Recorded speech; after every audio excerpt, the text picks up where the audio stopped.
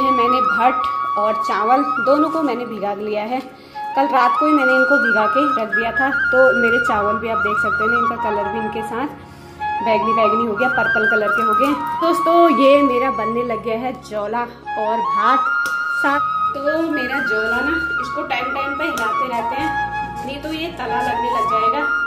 और इसमें ना, नमक, मिर्च या कुछ भी डालने की ज़रूरत नहीं होती है, इसको सिर्फ़ ऐसे बॉईल किया जाता है। और ऐसे ही इसका बहुत अच्छा टेस्ट आता है। तो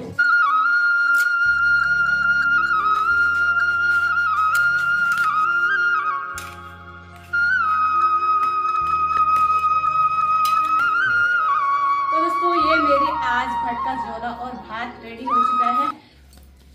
हेलो दोस्तों, आप सभी को मेरा प्यार भरा पहला और नमस्कार। कैसे हैं आप? आशा करती हूँ आप सब लोग अच्छे होंगे, बढ़िया होंगे और स्वस्थ होंगे। हम भी बिल्कुल बढ़िया हैं। आज ना मेरी ब्लॉग की शुरुआत हो रही है। दिन के पौने एक बज गया है और आज मैं आप सभी लोगों के साथ ना बहुत ही अच्छी एक ऐसी रेसिपी शेयर करने जा रही हूँ। हमारे वहाँ उसको बोलते हैं राजड़ और भटिया भी बोलते हैं कहीं कहीं जौला भात भी बोलते हैं। तो आज मैं बनाने जा रही हूँ जौला भात। तो आप सभी लोगों को ना दिखाती हूँ कैसे बनाते हैं जौला भात। जौला भात ना बहुत ही अच्छा होता है पेट के लिए और ठंडा होता है।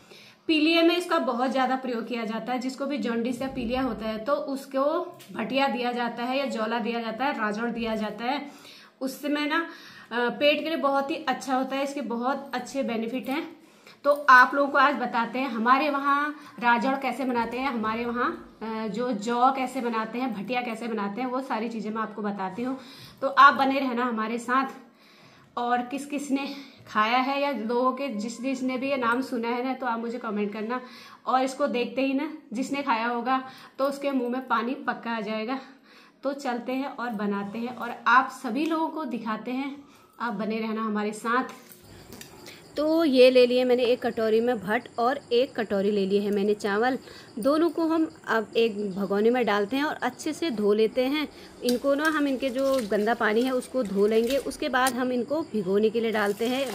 पूरी रात डालेंगे। आज अभी शाम का टाइम है तो मैं इनको पानी डाल रही हूँ और इनको रात भर के लिए भिगोने के लिए रख देती हूँ। लिए हैं मैंने भट और चावल। दोनों को मैंने भिगा लिया है। कल रात को ही मैंने इनको भिगा के रख दिया था। तो मेरे चावल भी आप देख सकते हैं इनका कलर भी इनके साथ बैगनी बैगनी हो गया, पर्पल कलर के हो गए। तो इनको पीसते हैं सबसे पहले और आपको दिखाते हैं। सबसे पहले हम कढ़ाई ले लेते हैं। इसको बनाने के लिए सबसे पहले लोहे की कढ़ाई। लोहे की कढ़ाई में सबसे अच्छा बनता है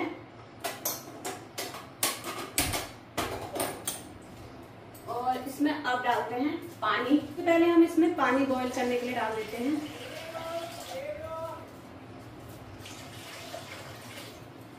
पानी मैंने बॉईल होने के लिए रख दिया है। मिक्सी जार में डाल लेते हैं।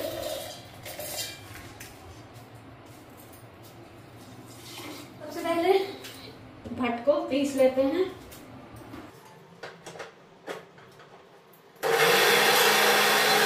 ये मैंने पीस लिए हैं। भट और चावल दोनों को मैंने अच्छे से ग्राइंड कर दिया है। इधर मैंने बॉईल होने के लिए कढ़ाई में पानी रख दिया है। पानी मेरा जो गर्म हो जाएगा ना बॉईल होने लग जाएगा तो उसके बाद हम इसको डालेंगे। तो दोस्तों, पानी भी मेरा बॉईल हो चुका है और आप देख सकते हो ना, ये मेरा जो बैटर है उसको हम इसमें डाल देते हैं और इसको हम पकने के लिए छोड़ देंगे। कम से कम इसको हम आधा घंटा पकाएँगे। तो मेरा जो जौला है ना, वो पक जाएगा। कहीं इसको जौला बोलते हैं, हमारे वहाँ तो इसको राजड़ बोलते हैं और कहीं भटिया बोलते हैं। आपके यहाँ क्या बोलते हैं, आप मुझे कमेंट करके बता सकते हैं। और किस किस का मन आज इसको देख के खाने का करेगा। इसको देखते ही मुँह में पानी आ जाता है। इतना टेस्टी होता है ये। दोस्तों, ये मेरा बनने लग गया है जौला और भात। साथ में इसमें कुछ लोग झोली भी बनाते हैं, पर आज मैं भी बनाऊँगी थोड़ी सी झोली और चावल, क्योंकि मेरा जो बच्चे हैं ना, वो कम पसंद करते हैं इसको, और मुझे तो बहुत ही टेस्टी लगता है ये। इसमें कुछ भी डालने की ज़रूरत नहीं है, इसमें नमक, मिर्च कुछ नहीं, खाली भटों को ही गर्म पानी में भट और चावल मिक्स करके पकाया जाता है। ये पीलिए के लिए बिल्कुल बेस्ट दवाई है। जब किसी को भी पीलिया होता है तो इसको ज़रूर देते हैं। जौला भात इसकी तासीर ना ठंडी होती है। तो इस जब तक ये मेरा पकता है तब तक मैं इसके लिए हरा नमक पीस लेती हूँ। पीसती हूँ उसमें हरा नमक। नमक पीसने के लिए मुझे क्या क्या चाहिए वो सारी चीज़ें मैं आपको दिखाती हूँ। जौला भी मेरा पकने लग गया है। इसको देख सकते हो आप इसमें उबाल आ जाता है। तो हम इसको ज़ीरो में पकाएँगे। मेरी कढ़ाई ना बिल्कुल फुल हो गई है इससे। ये पूरा ऊपर को उबाल आ रहा है। और इसको टाइम टाइम पे हिलाते रहते हैं, नहीं तो इसमें गांठ बन जाएँगी। तला लग सकता है। ये जब तला लगता है ना, इसकी कुरानी बहुत टेस्टी होती है। ये है हमारे यहाँ का राजड़ और जोला भात या भटिया, आप इसे कुछ भी बोल सकते हैं। आपके वहाँ जो इसको बोला जाता है।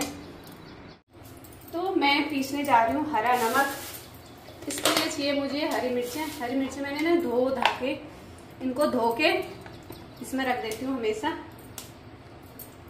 तो आजकल शराब लगे है ना, लहसुन का नमक नहीं हरा है तो मैं इसमें हरी मिर्ची होगा टेस्टी होता है, हरे धनिए का जो नमक होता है तो इसको हम ऐसे हाथ से चुन लेते हैं या आप इसको चाकू से काट भी सकते हैं, पर मैं ऐसे ही पीसूँगी। इसमें हम डालेंगे थोड़ा सा जीरा और थोड़ा सा धनिए के दाने और नमक।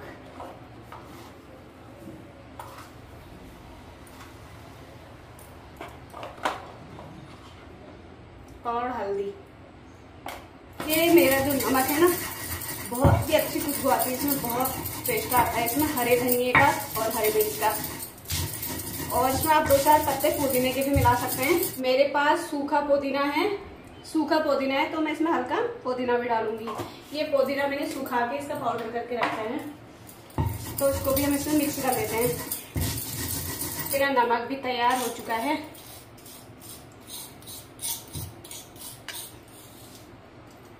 के स्टोर करके भी रख सकते हैं। बहुत ही अच्छी खुशबू आती है, बहुत अच्छा होता है पिसी नून। तो ये रेडी है मेरा पिसा हुआ नमक। और यहाँ मेरा भटिया भी पकने लग गया। आप देख सकते हैं इसमें कितना अच्छा सा कलर आने लग गया है।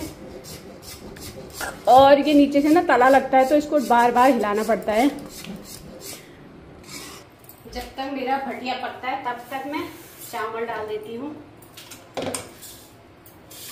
एक कुकर में चावल पकाने के लिए रख देते हैं।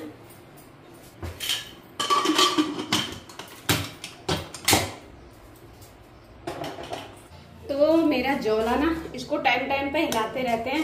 नहीं तो ये तला लगने लग जाएगा। और इसमें ना नमक, मिर्च या कुछ भी डालने की ज़रूरत नहीं होती है। इसको सिर्फ़ ऐसे ही बॉईल किया जाता है। और ऐसे ही इसका बहुत अच्छा टेस्ट आता है।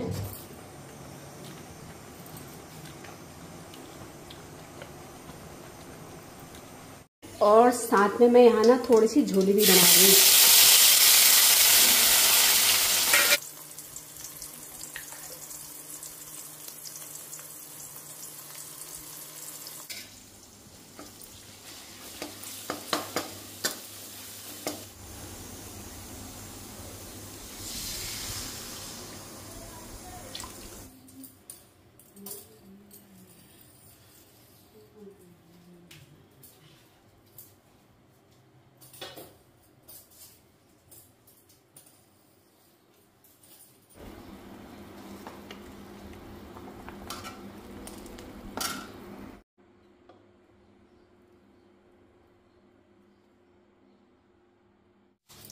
तो ये मेरा भटिया हो गया तैयार। और इसमें ना मलाई लगी है।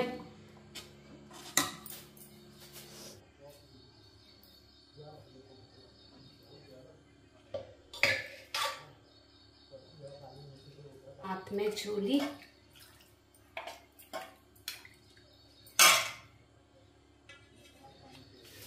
और पिसा हुआ नमक। इसको ना ऐसे मिला के खाते हैं इसमें। तो दोस्तों, ये मेरी आज भटका जोला और भात रेडी हो चुका है।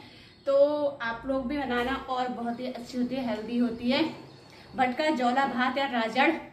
तो आज की जो रेसिपी है ना, आप सभी लोगों को कैसी लगी कमेंट करके बताना। अगर अच्छी लगे तो लाइक करना कमेंट करना, अपने दोस्तों के साथ शेयर करना। जय देवभूमि, जय भारत और जय उत्तराखंड।